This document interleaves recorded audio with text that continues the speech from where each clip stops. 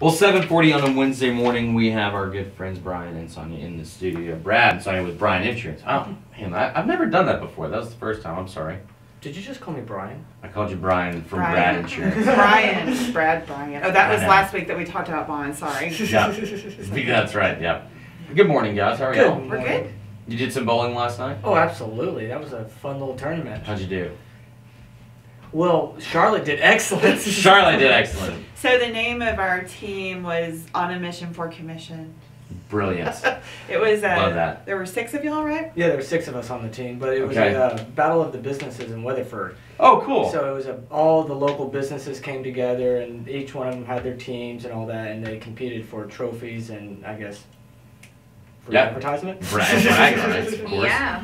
Well, yeah, that's awesome that you guys. I, I tell you, I, your involvement in the community that you're invested in is uh, second to none. So not only are you invested in Graham and Young County, you have your new location in Weatherford, and you guys are diving into the Parker County and uh, just doing an excellent job down there. So I commend you for that, and of course, you get to have fun while you do that. Oh, Oh, yeah. of course. How is the new the new office going down there? Great. Everything awesome? We had, our, had a ribbon cutting two weeks ago. Yes, that was very nice. It It was was. fun, it yeah. turned a huge turnout for that. Awesome. Yeah. That's great. I'm glad to hear that. I know that that's a, a, big venture for you guys down there. Um, and Weatherford's just a great place to be involved in. So, Yeah. It's good. We're enjoying it. Of course, we have two employees that live in that community and work Okay. there full time, and then several of us go over all the time. And you know, you just never know who you're going to find here Yeah. or there, over there, anywhere. uh, it's an easy, easy little commute down Yeah. there too. It is. Well, what are we talking about today? Well, too much of one thing in the wrong place. That's what we're talking about today. Okay. Yep. So we're talking about pollution, Ah, and um, as in regards to insurance. Okay. the, Interesting. the first question is, what is pollution? Pollution is definitely too much of anything in the wrong place. That is the simplest. that's the definition. Yep, that is the definition. That's the simplest definition you can. I can talk about how you know you have thermal irritants, uh, you know gaseous releases, liquids, uh, solid waste, stuff like that. But just the basic definition is anything that's too much in the wrong place is it. One of the most Mm. famous claims that I remember was a semi truck driving down like a mountain pass, it turned over, was carrying eggs, Okay. simple eggs. Those eggs spilled out.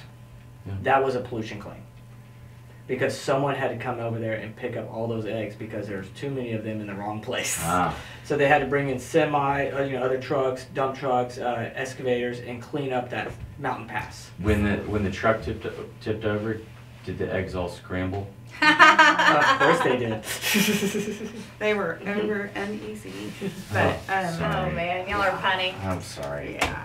Sorry. But uh, so your t- your typical business auto policy, if you have an accident and the uh, gas, diesel, oil that is being used to make your vehicle run Mhm. is spills, that's typically covered under a business auto policy. It's, that's a pollutant. Mhm. Uh, but if you're hauling something, whether it be what you think of from a pollution claim, which is gas, diesel, oil, right. or Harm, eggs, almost like yeah. harmful. yeah, material. or Anything eggs. If you're if you're hauling those things, uh, then you need a separate pollution policy. Oh, that's interesting. Yeah, a lot of people don't know that because a lot of people just start hauling their stuff. But if they Yeah. have an accident, they turn over, something happens, and there needs to be a cleanup, Yeah. that is on you. Yeah. Is this uh, for like hot shot drivers? Anybody. Anybody, Anyone? any any business that's hauling anything that Yeah. could be cause, cause pollution, and that's the vehicle part of it. Then there's also The general liability. general liability. Uh, we always think of oil lease operators. We write a lot of those. So you have your you know tank batteries out there, and you have your dikes around them, and everything else. Yeah. But those are what we typically see. But there are a lot of other issues that can be considered pollutants. One of the major ones I remember back what in the early 2000s, it was the releasing of natural gas into the environment. Mm. And they are one of our operators got sued for that because they claimed that it was a pollutant from a party uh, down the road. Oh. so we don't want to make everybody's eyes roll back and y'all have a nap at seven forty-five, but uh, if you are an oil lease operator, or you know, I'm, I'm going to use that as an example, somebody that you think you might have a pollution claim, there's so many different types of pollution coverage, and you have to be really careful.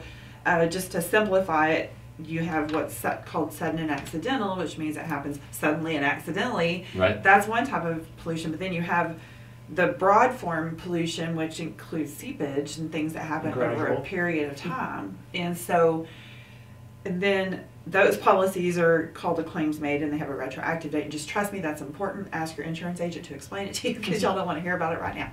But, um, you know, so if you, you really need to be careful uh, and make sure that you know what you're purchasing so that you'll be prepared. And especially when you're talking about that broad form, what is that retroactive date? Does my umbrella go over that? There's so many things to consider. So just because you see pollution as a line item on your invoice that you're paying for your insurance, you need to make sure you understand what kind of pollution coverage you have. Right.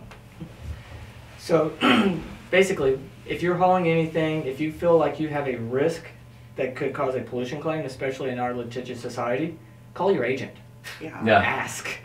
Yeah, you're not going to get much sympathy from the powers that be these days, No. like probably they did in the 70s and 80s, the Railroad Commission, you know. No, they're gonna come. no, they're coming after you, and it's probably going to be in the news. Right. you know, That's exactly right. uh, maybe not if you tip over the eggs, but if you have a you know oil and gas or you know. I always, I always think about like you know driving through uh, Windthorst there, and you see all those milk trucks. Yeah. Those that's a pollutant, Yeah. right was there. just thinking milk trucks. yeah, So that those guys, they all require pollution as well. Yeah, and, and you know, back to the the traditional haz hazmat that people haul.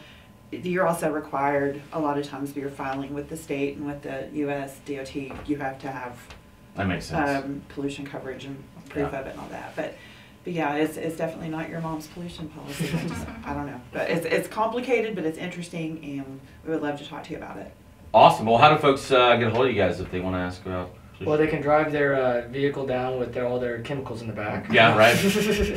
Please don't. Uh, they can come see us on the second floor of the Ciera Bank Building or call us at 940-549-2525. Or over in Hudson Oaks at 2950 St- uh, Fort Worth Highway, Suite 500, 817-770-0096. Or online at bryanins.com, Bryan with a Y. Awesome. Thank you guys. Appreciate it very much. Thanks. See you next week. Alrighty.